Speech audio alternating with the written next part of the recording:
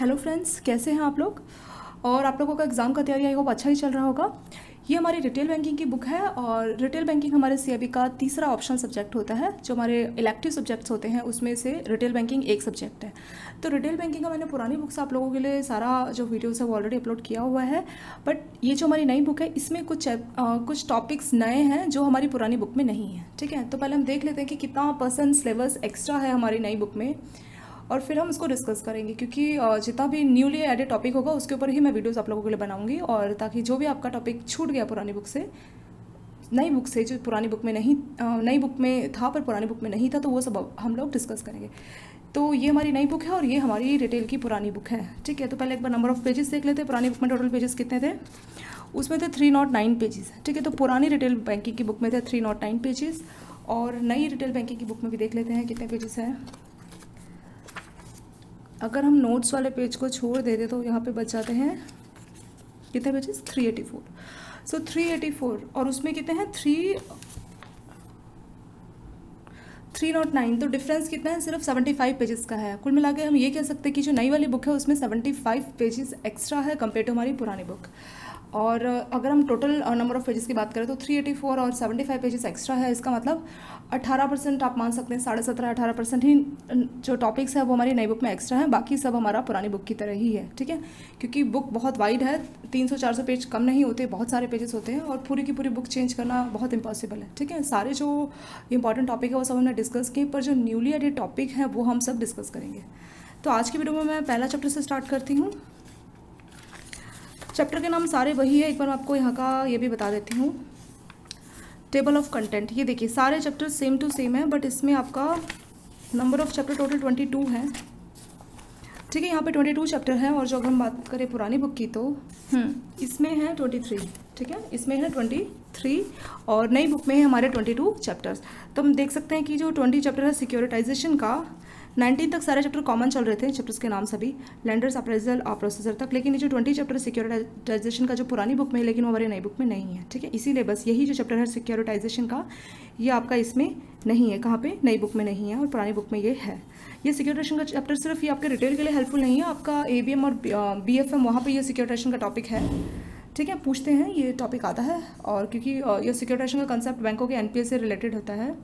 ठीक है जो एन जो डिफ़ॉल्ट लोन होता है तो उसको बीएफएम में भी दिया हुआ है। तो वो टॉपिक अगर हम बोले कि पढ़ के हमने वेस्ट किया तो वेस्ट नहीं है। ये टॉपिक ही इट्सल्फ बहुत इंपॉर्टेंट है और ए बी में भी यही टॉपिक है।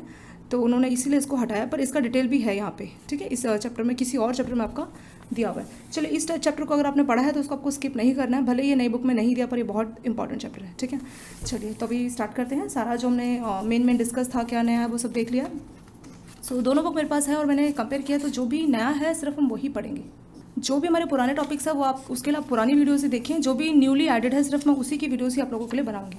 क्योंकि मैंने आपको बोला सत्रह अठारह परसेंट का ही डिफरेंस है, और अगर हम बात करें एटी टू परसेंट वो सब पुरानी बुक जैसा ही है। तो एटी टू परसेंट सेम है, सत्रह अठारह परसेंट का ही डिफरेंस है, साढ़े सत्रह परसेंट कुछ इतना डिफरेंस है। तो हम सिर्फ़ वही जो साढ़े सत्रह परसेंट का डिफरेंस है, वही टॉपिक्स को हम डिस्कस करेंगे। ठीक है?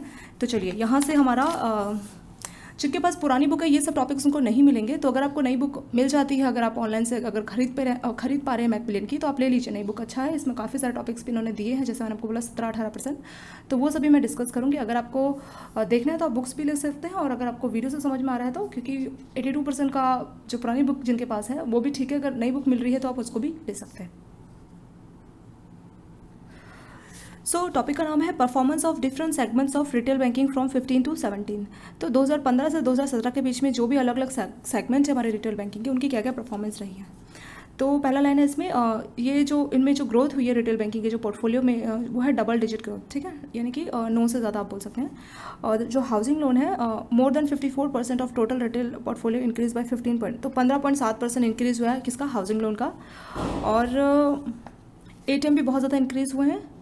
ठीक है एटीएम में भी बहुत ज़्यादा ग्रोथ हुई है। और अगर हम बात करें कि मार्च uh, 2017 के एंड एंड के टाइम पे जो एटीएम इंस्टॉल हुए थे वो इंक्रीज़ हुए किससे? पॉइंट ट्वेंटी टू मिलियन ठीक है? Zero point two two million so आप बोल सकते हैं कि प्रीवियस ईयर से जो है फोर पॉइंट सिक्स ज़्यादा उसकी ग्रोथ हुई है एटीएम की।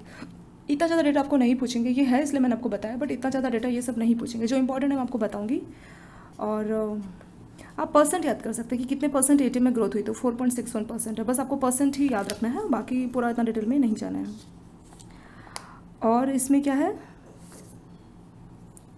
ये देखिए, जो वीक डोमेस्टिक डिमांड और जो परफॉर्मेंस थे कॉर्पोरेट सेक्टर का, वो 8.2 परसेंट ज़्यादा उसमें बढ़ोतरी हुई है, ठीक है? इंक्रीज़ हुआ है।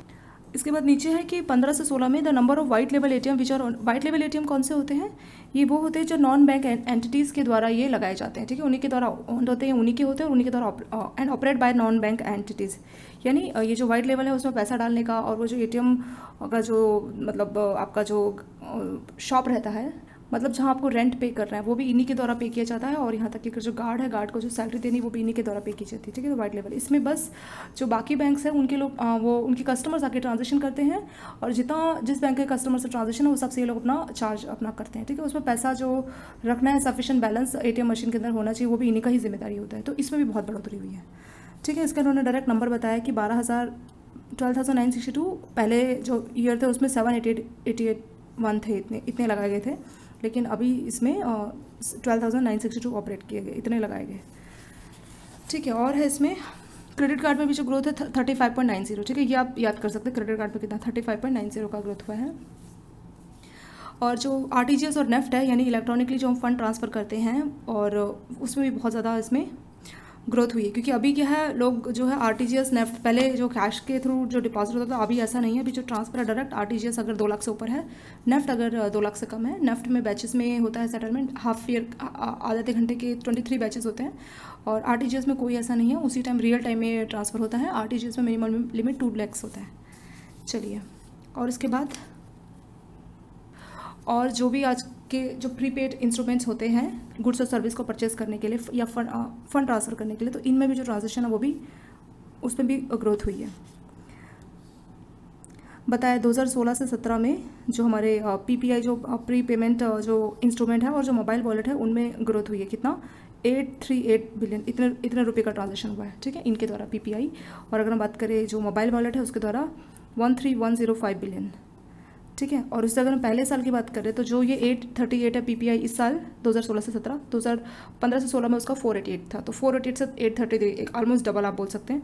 और इसका देखिए, जो मोबाइल वॉलेट्स जो है आपका फोर ज़ीरो फोर वन से भी कितना बढ़ गया देखिए thirteen thousand one zero five ठीक है तो बिल्कुल डबल और आप देख सकते हैं कि ट्रिपल तीन गुना ज़्यादा। मोबाइल वॉलेट में आपका वो सब आ जाएगा ना, जैसे फ़ोन पे से आपको, आज, आजकल आप देख रहे हैं कि PhonePe Paytm Google Pay YONO S से करके सभी बैंकों ने जो अपनी ऐप दी है, उससे बहुत ज़्यादा लोग ट्रांसफ़र कर रहे हैं, क्योंकि बहुत ईजी है और चौबीसों घंटे आपको सर्विस मिलती है और उसी टाइम फटाफट आपका सब ट्रांजेक्शन हो जाता है। तो इसीलिए जो मोबाइल वॉलेट है, उसका इतना ज़्यादा, तीन गुना ज़्यादा आप देख सकते हो, उतने रुपये का ट्रांजेक्शन हुआ है। तो चलिए ये सर हमने बेसिक देख लिया कि क्या क्या अलग अलग जो सेगमेंट है रिटेल बैंकिंग के 2015 से 17 में कैसे कैसे इन्होंने, इनकी परफॉर्मेंस रही है। तो हमने जितने पॉइंट्स पढ़े, हमें साफ़ पता लग रहा है कि 15 से 17 में ये बहुत अच्छे से ग्रो हुआ है, ठीक है? इनकी ग्रोथ बहुत अच्छी हुई है।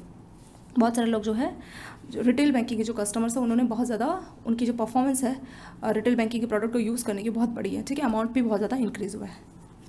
नेक्स्ट है pre request for success of retail banking तो रिटेल बैंकिंग के सक्सेस के लिए क्या क्या चीज़ें ज़रूरी है? There are various factors which that subscribe the success तो बहुत सारे फैक्टर्स हैं तो कुछ फैक्टर्स यहाँ नीचे उन्होंने बताया पहला presence of an efficient delivery mechanism तो आप अपने प्रोडक्ट को कस्टमर को कैसे डिलीवर कर रहे हैं? जैसे आप एटीएम कार्ड के थ्रू आप पैसा कस्टमर ले रहा है, या वो बैंक में चेक के थ्रू विदड्रॉ कर रहा है, या जो हमने देखा मोबाइल वैलेट मतलब किस तरह से आप उसको डिलीवर कर रहे हैं, ठीक है? अपने प्रोडक्ट को आप कैसे डिलीवर कर रहे हैं? एक एफिशिएंट डिलीवरी मैकेनिज्म होना बहुत ज़रूरी है। नेक्स्ट क्या है? प्रोडक्ट अप्रो अप्रोप्रिएटनेस मतलब जो कस्टमर है, उसके लिए वो प्रोडक्ट अप्रोप्रिएट होना चाहिए, ठीक है? जिस टाइप का कस्टमर उसको उसी टाइप का प्रोडक्ट मिलना चाहिए। प्राइसिंग मतलब क्या प्राइस लगा रहे हैं? जैसे किसी प्राइसिंग क्या होगा? बैंकों के लिए क्या वो इंटरेस्ट रेट चार्ज कर रहे हैं अपना असेट्स और लाइबिलिटीज़ पे? ठीक है? अगर आप लोन दे रहे हैं कस्टमर को हाउसिंग लोन तो क्या आप उससे प्राइस दे रहे हैं? क्या इंटरेस्ट रेट आप उनसे चार्ज कर रहे हैं? कि अगर कस्टमर डिपॉजिट करवा रहा है आपके पास एफडी या फिर आरडी या नॉर्मली सेविंग बैंक डिपॉजिट तो आप उनको क्या इंटरेस्ट रेट पे कर रहे हैं? ये सारा आ जाएगा प्राइसिंग में। Scoring model for assessing the credit worth आप किस टाइप का स्कोरिंग मॉडल आप यूज़ कर रहे हैं, ठीक है? ताकि आप क्रेडिट वर्दीनेस अपने कस्टमर की समझ सके। क्रेडिट वर्दीनेस का मतलब क्या होता है? मतलब अगर आप इसको लोन दे रहे मान लीजिए आप किसी कस्टमर को हाउसिंग लोन दे रहे तो इसकी क्रेडिट वर्दीनेस कैसी है? कितना चांसेस है कि मेरा पैसा मेरे को वापस मिल जाएगा? तो उसके लिए अलग अलग स्कोरिंग मॉडल यूज़ करता है बैंक ठीक है? उनके सिविल स्कोर चेक करता है, और भी स्कोर होते हैं। तो किस टाइप का आप स्कोरिंग मॉडल यूज़ कर रहे हैं? कंज्यूमर प्रोटेक्शन इन्वायरमेंट तो कंज्यूमर कौन हो गया? हमारा कस्टमर ही हो गया। प्रोटेक्शन इन्वायरमेंट मतलब ऐसा इन्वायरमेंट कि जो कंज्यूमर है या ये बोलिए हमारे कस्टमर्स के सारे राइट प्रोटेक्ट रहे। ठीक है, इस पॉइंट में वो बोला। है और ये भी बोला कि जो भी जो रेगुलेटर्स है, जैसे आरबीआई है, वो कुछ बैंकों पे पेनल्टीज़ लगाता है। किस लिए? क्योंकि वो जो कंज्यूमर के जो इंटरेस्ट है, उसको प्रोटेक्ट नहीं कर पा रहे। ठीक है? कंज्यूमर को किसी टाइप का लॉस नहीं होना चाहिए। रेगुलेटर कभी बोलते हैं ना कि आपने बैंकों पे पेनल्टी लगता है। अक्सर हम न्यूज़ पेपर में भी पढ़ते हैं कि इस बैंक पे इतने रुपये का पेनल्टी वो क्यों? एक तो कुछ बेसिक के वाई सी के जो कंप्लाइंसेज होते हैं, वो कुछ बैंक नहीं फॉलो कर पा रहे, उस वजह से पेनल्टी लगता है। या फिर अगर कस्टमर के जो राइट्स है, जैसे आप देखते हैं कि कस्टमर का अगर किसी टाइप की उनकी कंप्लेंट्स है, उसको किस तरह से सुना जा रहा है, नहीं सुना जा रहा तो इस तरह की बहुत सारी चीज़ें होती है। ठीक है तो कंज्यूमर को जो आपके जो आपके कस्टमर है, उनको आप कितना प्रोटेक्शन दे रहे हैं, उनको किस तरह से आप सुविधाएँ दे रहे हैं, ये सभी चीज़ें डिपेंड करेगी। चैलेंजेस फॉर रिटेल बैंकिंग तो हमने दो अलग अलग हेडिंग पढ़ ली है तीसरी हेडिंग है कि रिटेल बैंकिंग के लिए क्या क्या चैलेंजेस हैं। तो पहला है consumer protection and pricing so challenge से पहला ये है कंज्यूमर प्रोटेक्शन एंड प्राइसिंग इसमें बोला है कि कई बार ऐसा भी देखने को हुआ है कि बैंकों ने ऐसी ऐसी जगह पे मतलब प्राइसिंग ऐसी जगह पे पेनल्टी कस्टमर के लगा रखी जो इलॉजिकल है। ऐसा उन्होंने बोला है इस पैराग्राफ में। जैसे एग्जांपल के तौर पे there are charges for non maintenance और मिनिमम बैलेंस मतलब अगर आपने मिनिमम बैलेंस नहीं रखा तो आप पे पेनल्टी लग जाएगी। ठीक है? चेक अगर रिटर्न हो गया तो भी आप पे पेनल्टी लग जाएगी। अगर कोई सर्विस नहीं भी प्रोवाइड नहीं no service has been provided customer not अगर कस्टमर कोई आपका ट्रांजेक्शन भी नहीं कर रहा, उस पर फिर से पेनल्टी लग जाएगी। इस तरह की बातें इसमें बोल रहा है। ठीक है? तो ये एक प्रॉब्लम है। मतलब इससे जो कस्टमर के बेसिक राइट्स हैं, आप उन पर जो प्राइसिंग लगा रहे हैं, वो सही नहीं है। ठीक है? और अगर हम कई बार देखते हैं कि जो, कई बार जो रिच कस्टमर है, उनको आप अच्छे प्रोडक्ट और मतलब इंटरेस्ट रेट कुछ अच्छा जो बैंक है, वो बैंकों के अपने ऊपर ही रहता है कि अगर कोई बहुत जो हाई वैल्यू जो कस्टमर है, उनको सर्विस बहुत अच्छी मिलती है कंपेयर टू अगर हम बोले कि लो वैल्यू कस्टमर ठीक है? वो भी एक पॉइंट है तो वो सब हमारा प्रॉब्लम है। तो अगर हम चाहते हैं सक्सेसफुल बैंक रहे तो जो प्राइसिंग है वो सबके लिए बराबर होनी चाहिए। कई बार हम देखते हैं ना, जो बहुत हाई वैल्यू कस्टमर उनको हम इंटरेस्ट थोड़ा अच्छा ऑफ़र करते हैं। Compare to low value customer तो वो भी इसमें, इसी पॉइंट पे बोला है कि ये एक चैलेंज हो गया। दूसरा in inadequacy of M I S M I S का मतलब सारा का सारा जो डाटा है, जो ग्रैनुअल इन्फॉर्मेशन है, वो एक जगह पे नहीं है, ठीक है? सब अलग अलग सेगमेंट का अलग अलग डेटा है, पर एक जगह पे सारा डेटा नहीं है कस्टमर्स के बारे में। अगर एक जगह पर सारा डेटा रहेगा तो हम जान सकेंगे ना कि किस टाइप से जो प्राइसिंग रिस्क है, उससे निपट सके, या फिर एक जगह पर सारा डेटा अच्छे से ग्रैनुअल डेटा अपने पास अवेलेबल नहीं है। Understanding of K Y C K Y C होता हमारा नो योर कस्टमर ठीक है? सो ये जब अपने कस्टमर का जो के वो समझना भी, क्योंकि बहुत बार क्या होता है कि बैंकों के थ्रू ही जो मनी लॉन्ड्रिंग ये सारी एक्टिविटीज़ होती हैं। ठीक है, ये सब बैंकों का चैलेंज ही तो हो गया कि जैसे के में क्या है, आपका जो मीडियम हाई और लो रिस्क अलग अलग कैटेगरी के कस्टमर होते हैं। डिपेंड करेगा कि कौन सी कैटेगरी है। जैसे जो सरकारी बैंकों में सॉरी सरकारी किसी की जॉब है तो आप उनको लो रिस्क कस्टमर बोल सकते हैं। मीडियम रिस्क में अगर आपका कोई भी पॉलिटिकली एक्सपोज कोई पार्टीज़ है, वो आपका हाई रिस्क कस्टमर में आ जाता है। इनऑपरेटिव अकाउंट वो सब मीडियम रिस्क में आ जाते हैं, ठीक है? इस तरह की अलग अलग कैटेगरी तो उनका टाइम है। जैसे जो भी हाई रिस्क कस्टमर उनका हर दो साल में हमें के डॉक्यूमेंट्स लेना है और जो मीडियम रिस्क है, उनका हर आठ साल में और जो लो रिस्क है, उनका हर दस साल बाद हमें के डॉक्यूमेंट्स लेना ठीक है? तो वो सब भी हमारा चैलेंज ही हो गया। नेक्स्ट है मैनेजिंग रिस्क तो अलग अलग टाइप के जो कस्टमर है, उनके रिस्क को, अलग अलग टाइप का रिस्क है। अगर आप किसी को लोन दे रहे हैं तो वो आपके लिए रिस्क है। तो उस रिस्क को मैनेज करना भी एक बहुत बड़ा डिफ़िकल्ट टास्क है। अलग अलग नई नई टेक्नोलॉजी आ रही है। नई नई टेक्नोलॉजी से क्या हो रहा है कि कस्टमर बैंकों में कम आ रहा है, वो घर पे बैठे बैठे ही अपना इंटरनेट के थ्रू अभी हमने देखा कि फ़ोनपे पेटीएम योनो एस का जो ऐप है और भी ऐसे बहुत सारे हमारे पास ऐप है आजकल ऑनलाइन उन्हीं से ट्रांजेक्शन कर रहा है। तो बहुत ज़्यादा फ्रॉड्स भी हो रहे हैं क्योंकि अब आपको नहीं मालूम ये कस्टमर कौन है और वो डायरेक्ट अपना इंटरनेट आईडी और पासवर्ड के थ्रू ही ट्रांजेक्शन कर रहा है। तो हैकर्स भी प्रॉब्लम क्रिएट कर सकते हैं। तो इसी बारे में बोल रहा है कि नई नई टेक्नोलॉजी आ गई है तो कस्टमर्स के लिए बहुत रिस्की भी हो गया है। ठीक है साइबर क्राइम हम देख रहे हैं, बहुत ज़्यादा बढ़ रहा है। आइडेंटिटी थेफ्ट, इस तरह की प्रॉब्लम बढ़ रही है। ये भी बैंकों के लिए बहुत बड़ा टेक्नोलॉजी की सिक्योरिटी बनी रहे और कस्टमर को, उनके कस्टमर को किसी टाइप से, ऑनलाइन किसी टाइप का फ्रॉड, इस तरह की कोई परेशानी ना हो। कंटिन्यूइंग ग्रोथ तो बोल रहे हैं कि जो बैंक है ग्रोथ तो हो रहा है, पर बैंकों का पेनिट्रेशन उतना ज़्यादा नहीं है, ठीक है? और बैंक अपने हिसाब से कस्टमर को जो है लोन का चार्ज कर रहे हैं इंटरेस्ट रेट मतलब ग्रोथ तो बहुत ज़्यादा हो रही है, लेकिन उतना ज़्यादा बैंकों का जो पेनिट्रेशन है मतलब जो बैंक फंड दे रहे हैं लोन दे रहे हैं, वो उतना ज़्यादा नहीं है, लेकिन जो कस्टमर है वो बहुत ज़्यादा बढ़ रहे हैं। ठीक है कस्टमर बढ़ रहे हैं, पर साथ साथ बैंकों को जो पेनिट्रेशन है लोन का, ठीक है, बैंक का जो क्रेडिट पेनिट्रेशन है वो उतना ज़्यादा नहीं है, वो दस परसेंट ही है। बट जो ग्रोथ है वो बहुत ज़्यादा है। तो जितनी ज़्यादा ग्रोथ है, उतना ज़्यादा पेनिट्रेशन होना चाहिए बट ऐसा नहीं हो रहा है।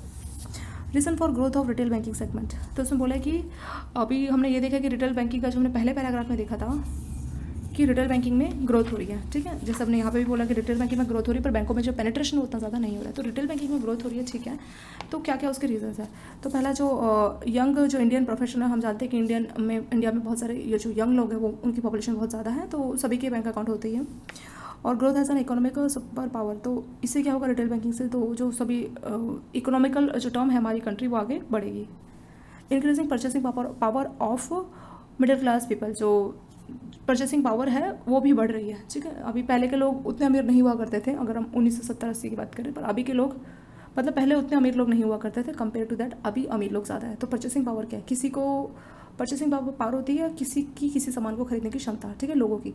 तो पहले लोग उतना सामान नहीं लेते थे। पहले आप लोगों के घर भी देखोगे तो बहुत कम घरों में आप देखोगे कि टीवी हुआ करते थे या सोफ़ा सेट इस तरह के। पहले लोगों के घर में सिंपल कुछ ही चीज़ें हुआ करती थी। उनकी परचेसिंग पावर कम थी। बट अभी आप देखोगे कि ऑलमोस्ट सभी घरों में ये जो सोफ़ा जो बेसिक चीज़ें टीवी ये सब आपको हर घर में मिल जाएगा।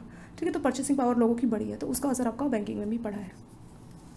नेक्स्ट है फाइनेंशियल मार्केट रिफॉर्म्स तो अलग अलग जो हमारा फाइनेंशियल मार्केट में अलग अलग जो है चेंजेस होता रहता है तो उससे भी हमारी रिटेल बैंकों को फ़र्क पड़ा है। जो ग्रोथ है इकोनॉमिक ग्रोथ उसके लिए हमारा काम कर रहा है। और मास मार्केट बैंकिंग में क्या हो इसमें बहुत सारे कस्टमर को एक बार में सर्विस मिल जाती है और इंडिया में जो है रिटेल बैंकिंग का बहुत अच्छा स्कोप है। और आजकल जो बैंकिंग प्रोसेस है, वो सारा कुछ ज़्यादातर ऑटोमेशन हो गया है। कोई भी जो बहुत एक्सेसिबल बहुत ईजी है, और रिटेल लोन अलग अलग तरह से कस्टमर को दिया जा सकता है। और यही बोला चेंजिंग कंज्यूमर इकोनॉमिकल और जो प्रोस्पेक्टिव है, वो वो भी बहुत ज़्यादा है। अलग अलग टेक्नोलॉजिकल जो इनोवेशन है, वो हमारे बैंक में हुए हैं और बैंकों का जो लिक्विड कैश है, वो भी इंक्रीज़ हुआ है। ये सारे फैक्टर्स बोले इतना ये वो नहीं है बट डिटेल में एक इतना डिटेल में नहीं पढ़ना है। एक एक लाइन देख लीजिए इंटरेस्ट रेट डिक्लाइन हुआ है। पहले क्या था, उन्नीस अगर उन्नीस पचानवे, छियानवे nineteen ninety five nineteen ninety six की बात करें तो इंटरेस्ट रेट कितना होता था, सोलह से अठारह परसेंट तक होता था, ठीक है? तब आप पूछिए इंटरेस्ट रेट इंटरेस्ट लेना उस पर बहुत हाई इंटरेस्ट रेट मिलता था अगर आपको लोन लेना है। अभी ऐसा नहीं, अभी साढ़े सात नौ परसेंट इस रेट में आपको आसानी से हाउसिंग लोन ये सब मिल जाता है। तो इंटरेस्ट रेट भी डिक्लाइन हुआ है और इंटरेस्ट रेट डिक्लाइन हुआ है तो कस्टमर का जो इंटरेस्ट है बैंकों में बड़ा है। डिक्लाइनिंग कॉस्ट पहले क्या करते थे, जो गाँव में ज़मींदार होते थे, वही उन्हीं से जो गाँव के लोग हैं, वो इन लोन लेना पसंद करते थे मतलब उनसे कर्जा लेना पसंद करते थे, क्योंकि वहाँ पे पाँच छः परसेंट ऐसा कुछ रहता था। लेकिन बैंकों में उनसे ज़्यादा देखिए sixteen to eighteen percent yearly अभी कैसे इतना हाई इंटरेस्ट पे करेंगे तो तब लोग इंटरेस्ट कम लेते थे। लेकिन अभी जो है, बैंकों में इंटरेस्ट ज़्यादा इसलिए क्योंकि बहुत ईजिली ये जो है क्रेडिट मिल जाता। अब तो गाँव में भी लोग जमींदार के पास नहीं जाते, सर, सीधे बैंकों के पास आके अपना लोन लेते, अगर उनको ज़रूरत होती है तो। और जो कॉस्ट ऑफ़ डिपॉजिट वो सब डिपेंड हुआ change of tenure of loan पहले क्या था कि जो लोन था, बहुत, पाँच छः सात साल के लिए मिलता था तो कम टाइम में उनको रिपे करना होता तो उनके पास, जैसे कहते हैं ना, मुहूर्त टाइम उनके पास बहुत कम होता था। उनको टेंशन भी था, अभी इसको फटाफट से रिपे कैसे करें? अब इतना बढ़ गया, पंद्रह से तीस साल, इतना अगर हम हाउसिंग लोन ले रहे तो तीस साल के अंदर आप आसानी से रिपेमेंट कर सकते तो इतना लंबा टेन्योर हो गया तो उससे क्या फ़ायदा हुआ? इंटरेस्ट रेट कम हो गया, हमने ऊपर देखा टेन्योर इतना बढ़ गया तो उससे क्या कस्टमर के ऊपर ज़्यादा बर्डन नहीं पड़ेगा। लोन चल रहा है, कोई दिक्कत नहीं है। पहले क्या था, पहले इतना लोन नहीं चलता था। पहले अगर कोई लोन ले लेता था तो लोगों को लगता था कि अब तो उसकी कंडीशन बिल्कुल ख़राब है, और मतलब अब तो अब इनका कुछ नहीं हो सकता, इस तरह के लोगों की सोच होती थी। लेकिन अब आप देख लीजिए ऑलमोस्ट जो भी घर लेता है, सब सब लोन से ही घर लेते हैं, समझ रहे हैं? जैसे हाउसिंग लोन ये उसके बाद ही लोग अपना फ्लैट लेते हैं या घर लेते हैं। तो अभी ऐसा कुछ नहीं है। अगर अभी कोई बोलेगा कि मेरा लोन चला तो उसको पता है सबको पता है नॉर्मल सी बात है, ठीक है? पर पहले ऐसा नहीं था। पहले किसी को पता लग जाए कि इसका लोन चल रहा तो उनको लगता था कि इस पर सारा ही टेंशन है, इनका अब कुछ नहीं हो सकता, इस तरह की सोचती लेकिन अभी ऐसा कुछ नहीं है, ठीक है? तो वो भी आप देख सकते हैं टेनर बहुत बढ़ गया है। Next scope of retail banking India में बहुत अच्छा स्कोप है और क्या बोलते हैं, यहाँ पे जो 200 मिलियन हाउस होल्ड है और अगर उसमें से बात करें 400 मिलियन मिडिल क्लास पॉपुलेशन हमारे यहाँ पे ठीक है? इतने घर हैं और इतनी मिडिल क्लास पॉपुलेशन है। More than 90 percent of saving comes from household तो जो 90 परसेंट ज़्यादा लोग जो सेविंग करते हैं, वो हाउस होल्ड सेक्टर से ही होते हैं। लोगों का परचेसिंग पावर बड़ा है तो स्कोप अच्छा है। और न्यूक्लियर फैमिली जो है, वो कंसेप्ट बहुत ज़्यादा हो रहा है तो लोग जो है ज़्यादा अपना सेव कर रहे हैं, सब अलग अलग अपना ज़्यादा सेव कर रहे हैं। टैक्स बेनिफिट भी, आजकल अलग अलग टाइप से हाउसिंग लोन लिया तो उसको टैक्स बेनिफिट मिलता है और वो टैक्स बेनिफिट के ऊपर भी आपका एक चैप्टर वो भी हम डिस्कस करेंगे। ठीक है, वो हम बाद में डिस्कस करेंगे। टैक्स बेनिफिट के ऊपर बहुत अच्छा चैप्टर है कि कैसे आप हाउसिंग लोन लेके उसके प्रिंसिपल पर या उसके इंटरेस्ट पर आपको कैसे जो है टैक्स में रिबेट मिल सकती है। ठीक है, वो सब हम डिस्कस करेंगे। वो चैप्टर बहुत इंपॉर्टेंट है, वो भी आपका नई बुक में ऐड हुआ है, वो हम करेंगे बाद में। चलिए, ये वाला हम, हमारे यहाँ पे कंप्लीट हो गया लेटर समझ आ गया। ये कंप्लीट हो गया नई बुक से ये क्वेश्चन आपकी पुरानी बुक में है, ये वाला जो तीसरा क्वेश्चन है नया ऐड हुआ है तो उसको देख लेते हैं। Which of the following is not a part of retail banking इसमें से बोला कि कौन सा रिटेल बैंकिंग का पार्ट नहीं है। तो रिटेल बैंकिंग हम बहुत बहुत देख चुके हैं। तो एक और बात, जैसे रिटेल बैंकिंग में क्या होता है कि जो नॉर्मल हमारे जो कस्टमर्स हैं, ठीक है इंडिविजुअल भी हो सकते हैं तो जो इंटरनेट बैंकिंग है तो इंडिविजुअल मतलब इंटरनेट बैंकिंग यूज़ कर सकता है तो रिटेल बैंकिंग का पार्ट है। मोबाइल बैंकिंग हम लोग अपना मोबाइल से फ़ोन पे पेटीएम सब यूज़ करते हैं, वो भी इंटरनेट रिटेल बैंकिंग का ही पार्ट है। तीसरा है क्रेडिट कार्ड फैसिलिटी हम अगर क्रेडिट कार्ड लेते हैं, जैसे कोई भी इंडिविजुअल क्रेडिट कार्ड लेता है, वो भी रिटेल बैंकिंग का लेकिन है providing term loan for projects जो बड़े बड़े प्रोजेक्ट्स चलते हैं, ठीक है? रेलवे का कोई प्रोजेक्ट चल रहा है या मेट्रो का कोई प्रोजेक्ट चल रहा है तो वो रिटेल नहीं होता है, ठीक है? वो रिटेल नहीं होता है। रिटेल का मतलब इंडिविजुअल कस्टमर्स को आप क्या सर्विस दे रहे हैं, ठीक है? इंडिविजुअल कस्टमर्स को आप क्या सर्विस दे रहे हैं? तो जो प्रोजेक्ट है मेट्रो के और जो गवर्नमेंट के जो भी प्रोडक्ट प्रोजेक्ट चल रहे होते हैं, उनको अगर आप टर्म लोन दे रहे हो टर्म लोन मतलब तीस साल, चालीस साल, ये जो मेट्रो के ये सब जो प्रोजेक्ट चलते हैं, उसमें जो लोन का टेनर वो बहुत बड़े टाइम का रहता है, ठीक है? मतलब बहुत टाइम पीरियड बहुत ज़्यादा रहता है। तो वो कभी भी रिटेल बैंकिंग में रिटेल मतलब इंडिविजुअल कस्टमर को आप क्या सर्विस दे रहे हो? तो इंडिविजुअल कस्टमर जिन्होंने अपना खाता खोला है सेविंग बैंक तो उसमें क्या हो सकता है? आप इंटरनेट ले सकते हो मोबाइल ले सकते हो क्रेडिट कार्ड आपको मिलेगा, ठीक है? वो भी रिटेल में ही आ जाएगा, लेकिन जो टर्म लोन फॉर प्रोजेक्ट है, वो नहीं आएगा तो सी हो गया हमारा इसका, इसमें करेक्ट आंसर चलिए फ़र्स्ट चैप्टर हो गया, हम लोग सेकेंड चैप्टर भी देख लेते हैं। ठीक है यूनिट टू यूनिट टू में हमारा यहाँ से जो तीन मॉडल है हमारे जो रिटेल बैंकिंग के तीन मॉडल है, जो, देखिए the business model for retail banking show show interesting revelation about types of bank तो इसमें पता लगता है किस किस टाइप के बैंक है। The model adopted by bank very among the among the public sector private and foreign bank the main approaches ठीक है तो तीन तरह से जो अप्रोचेस है जो बैंक यूज़ करते हैं तो उनके नाम है स्ट्रैटेजिक दूसरा डिपार्टमेंटल तीसरा इंटीग्रेटेड अप्रोच ठीक है? तो ये डिस्कस करते हैं। ये सब हमारा नई बुक से ही है। तो पहला हमारा स्ट्रेटेजिक बिज़नेस यूनिट क्या है ये? Strategic business units aimed at providing the business on line of strategic we are autonomous, division small enough to be flexible and large enough to control exercise.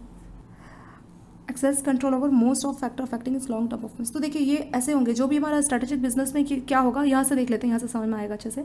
S B U can be define as profit centre which focus on product offering and market segment तो इसमें क्या है, हम अपने जो market है, उसको अलग अलग सेगमेंट में डिस्ट्रीब्यूट करेंगे कि ये हमारा, जैसे नहीं कहते, ये हमारा मार्केट कैसा है? इस चीज़ का मार्केट कैसा है? ठीक है तो अलग अलग मार्केट में हम सेगमेंट कर लेते हैं उससे हम अपनी स्ट्रैटेजीज बनाते हैं। ये बहुत फ्लेक्सिबल भी रहेगा, ठीक है, और इसका आसानी से कंट्रोल भी रहेगा, और लॉन्ग टर्म में इसकी परफॉर्मेंस भी अच्छी रहेगी, किसकी? एस बी ओ तो अलग अलग जो मार्केट सेगमेंट है, और जो भी आप प्रोडक्ट कर रहे हैं तो उसको आप प्रॉफिट सेंटर के हिसाब से अपना अपना सेग्रीगेट करेंगे। It is a business of large corporation और it can be business in it तो एस कैसा हो सकता है? या तो बहुत बड़ी जो कॉर्पोरेशन है उसका बिज़नेस हो सकता है या एस अपने में ही एक बिज़नेस हो सकता है ठीक है? As a research study on the model followed by ten banks का तो एक स्टडी किया गया जिसमें दस बैंक लिए गए। उसमें जो दस बैंक लिए गए रिसर्च के लिए स्टडी के लिए। तो उसमें पब्लिक सेक्टर प्राइवेट सेक्टर और फॉरेन बैंक सभी बैंक्स थे।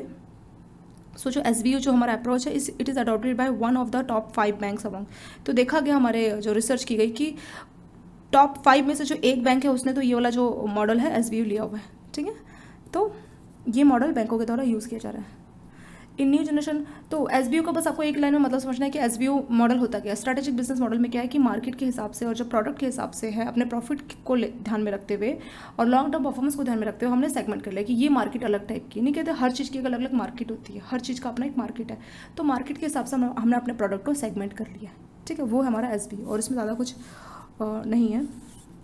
नेक्स्ट है departmental approach in departmental approach rather than dividing on strategies और business lines and organization can divide तो इसमें बिज़नेस लाइन देखा था ना कि जैसे बिज़नेस लाइन एक ऑर्गेनाइजेशन की अलग अलग बिज़नेस लाइन हो सकती है। जैसे कि, मान लीजिए कोई बहुत बड़ी इंडस्ट्री है, ठीक है? कोई भी आप इंडस्ट्री का नाम ले लीजिए। वो क्या करती है कि वो फ़ूड प्रोडक्ट्स बना रही है, ठीक है? साथ साथ वो क्या कर रही है, कपड़ों का भी उनका, कपड़ों में भी उनका बिज़नेस है। साथ साथ क्या है उनका? अगर आप बोले दवाइयों में भी उनका बिज़नेस है तो अलग अलग उन्होंने बिज़नेस लाइन बनाई है। बिज़नेस उनका मतलब एक तरीके का होने में तो कंपनी सेम है, होने में कंपनी सेम है। वो इलेक्ट्रॉनिक आइटम्स भी प्रोवाइड करा रही है, वो फ़ूड आइटम्स भी प्रोवाइड करा रही है तो अलग अलग उन्होंने लाइन्स बना रखी तो वो हो गया हमारा सेगमेंट अलग अलग मार्केट के हिसाब से उन्होंने अपने आप को अपने प्रोडक्ट को डिस्ट्रीब्यूट किया हुआ ठीक है? अलग अलग मार्केट में वो अपना अप्रोच बना रही कि हाँ ये मार्केट हमारा अलग है तो यहाँ का सब, इसका हिसाब अलग चलेगा और बाकी जो हमारा मतलब एक कंपनी सेम स्ट्रैटेजी नहीं यूज़ कर सकती। मान लीजिए कंपनी फ़ूड के लिए अपनी कुछ स्ट्रैटेजीज यूज़ कर रही है कि हाँ इस तरह का प्रोडक्ट लॉन्च करेंगे तो क्या सेम चीज़ वो अपना इलेक्ट्रॉनिक के लिए भी सोच सकती? नहीं इलेक्ट्रॉनिक में सब चीज़ अलग चलेगी, ठीक है? तो अलग अलग मार्केट के हिसाब से सेगमेंट कर लेना, वो हमारा पहला हो गया। दूसरे में बोला है कि जो हमने अलग अलग बिज़नेस लाइन के हिसाब से सेगमेंट किया है, वो तो ठीक है, लेकिन डिपार्टमेंट में क्या है? ऑर्गेनाइजेशन कैन ऑल्सो भी divided on basis of functions various आप देखते हैं कि अलग अलग डिपार्टमेंट भी होते हैं। ठीक है, मान लीजिए फ़ूड वाला की कंपनी का स्ट्रेटेजी अलग चल रही है और जो इलेक्ट्रॉनिक कंपनी है सेम मतलब मेन कंपनी सेम है, पर उसने अलग अलग चीज़ें की अलग अलग कंपनियाँ खोली हुई है। ठीक है कंपनी सेम है अलग अलग मेन कंपनी सेम है, नाम सेम है, पर अलग अलग टाइप की उन्होंने कंपनीज़ खोली हुई है। चलिए डिपार्टमेंट में क्या है कि आपने स्ट्रेटेजीज बनाई है, उस हिसाब से आपने अपने बिज़नेस लाइन को अलग अलग डिस्ट्रीब्यूट किया साथ साथ आपको अपने ऑर्गेनाइजेशन के जो डिपार्टमेंट है, उसको भी अलग अलग टीम्स अलग अलग डिपार्टमेंट के अलग अलग को भी डिस्ट्रीब्यूट करना है। जैसे आप देखते हैं ना मार्केटिंग इसके एग्जाम्पल्स आपको समझ में आएगा, जैसे कि हाँ यहाँ से देखिए। ऑर्गेनाइजेशन को कैसे डिपार्टमेंट में बांट सकते हैं, देखिए। जैसे अकाउंटिंग डिपार्टमेंट अलग है, वो सिर्फ़ अकाउंटिंग से रिलेटेड चीज़ें देखेगा। मार्केटिंग अलग है, वो देखेगा कि हाँ इन प्रोडक्ट की मार्केटिंग कैसे की जा सकती है। फाइनेंस डिपार्टमेंट अलग है प्लानिंग डिपार्टमेंट अलग है, ठीक है? तो हर डिपार्टमेंट में एक मैनेजर होगा और उसके आगे के लोग वहाँ काम करेंगे। ठीक है तो डिपार्टमेंट अप्रोच में क्या है? ये इस, इसमें तो क्या प्रोडक्ट को अलग अलग सेगमेंट में डिस्ट्रीब्यूट कर दिया अलग अलग मार्केट के हिसाब से, ये अलग है।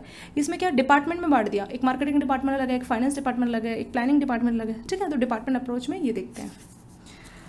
और पब्लिक सेक्टर बैंकों ने ये डिपार्टमेंटल अप्रोच देखा, आपने बैंकों में भी देखा अलग अलग टाइप के अलग अलग डिपार्टमेंट होते हैं। बैंकों का मार्केटिंग डिपार्टमेंट अलग काम करता है और प्लानिंग डिपार्टमेंट अलग काम करता है फाइनेंस डिपार्टमेंट अलग काम करता है। ठीक है तो सेम चीज़ बैंकों ने भी अडॉप्ट की हुई है।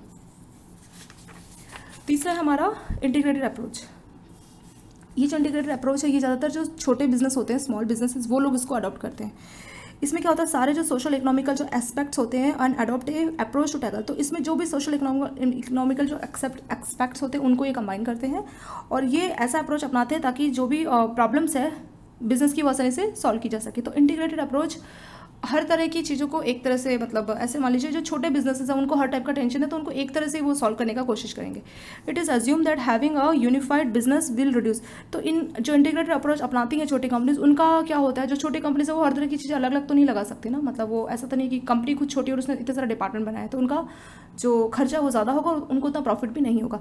तो इनका ये मानना होता है it is assume that having a unified business would reduce risk and increase profitability ऐसा ये लोग मानते हैं कि अगर इस तरह का मॉडल रहेगा तो इंटीग्रेटेड रहेगा तो इससे क्या रहेगा कि जो इनका रिस्क भी कम रहेगा, सब यूनिफाइड होना चाहिए, ठीक है? इसमें कुछ भी अलग नहीं होना चाहिए। ना मतलब इसमें सेम ही चीज़ रहेगी, पर वो अलग अलग डिस्ट्रीब्यूट नहीं करेगी अपने प्रोडक्ट को मार्केट मार्केट के हिसाब से, और ना ही अलग अलग डिपार्टमेंट बनाएँगी, ठीक है? इतना इसमें चेंज नहीं रहेगा। इनका सब कुछ यूनिफाइड रहेगा, इससे इनका प्रॉफिट बढ़ेगा, ठीक है? यही इसमें है। कौन सा हमारा इंटीग्रेटेड अप्रोच है? चलिए, ये हो गया हमारा तीन का, बस आपको एक एक नंबर में डेफिनेशन पता होना चाहिए, इससे ज़्यादा कुछ नहीं है। इसके दो क्वेश्चंस नए हैं, वो देख लेते हैं। The suitability of business model और अप्रोच ऑफ़ बैंक डिपेंड किस पर डिपेंड करता है? कॉर्पोरेट स्ट्रेटेजी बिज़नेस ऑब्जेक्टिव और बिज़नेस इन तीनों पर ही डिपेंड करता है। तो आंसर हो गया ऑल ऑफ़ दी एव नेक्स्ट है business model of retail banking अलग अलग एस्पेक्ट्स हैं तो कौन सा उसमें से नहीं है, कौन सा करेक्ट है? तो यहाँ पे हमने लास्ट में देखा था ना, यहाँ पे लास्ट में देखिए आप पॉइंट यहाँ पे लिखा हुआ है कि जो बिज़नेस मॉडल है मॉडल है, उसमें क्या रहता है? प्रोसेस डिलीवरी चैनल टेक्नोलॉजी ये सभी चीज़ें, इन सभी के रिगार्डिंग ये जो है मॉडल फॉलो करता है। तो उसमें कैपेसिटी का नाम नहीं ठीक है? प्रोडक्ट डिलीवरी और टेक्नोलॉजी है बट कैपेसिटी का नाम नहीं है, ठीक है? तो ये